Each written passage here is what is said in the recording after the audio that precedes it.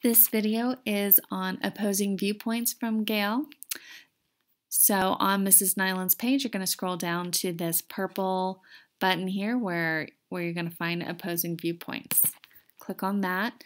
If this is your first time into Gale, you might need to enter the password. The password is learn, all lowercase. Now, if you already have your search term, that's great. Go ahead and enter it in the box here. If you're not sure exactly what you're going to do a search for, I would come down here to this little light bulb where it says Browse Issues. This will show you everything that is in this database.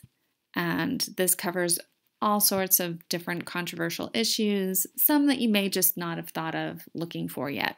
Okay, so the one I've been looking up today is censorship, so I'm just going to go ahead and click on that. And then here is my article. And notice down below we've got featured viewpoints. This is going to give you different um, different ideas on that topic. And then you've got your reference materials, your biographies. I'm just going to click here where it says read more. This is the main topic. One cool feature here is see, see where it says this Lexile measure here. You can change the reading level to an easier, easier reading level if you're struggling with your topic. Okay, you've got all of your related subjects here.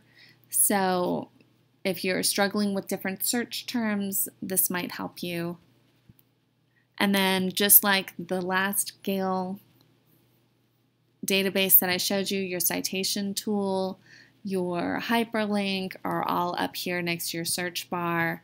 And then your translation tool, your listen tool, your email are all in this lower lower toolbar down here. Okay, I, I find Gale very easy to use. And so I hope that you all find a lot of great information in here.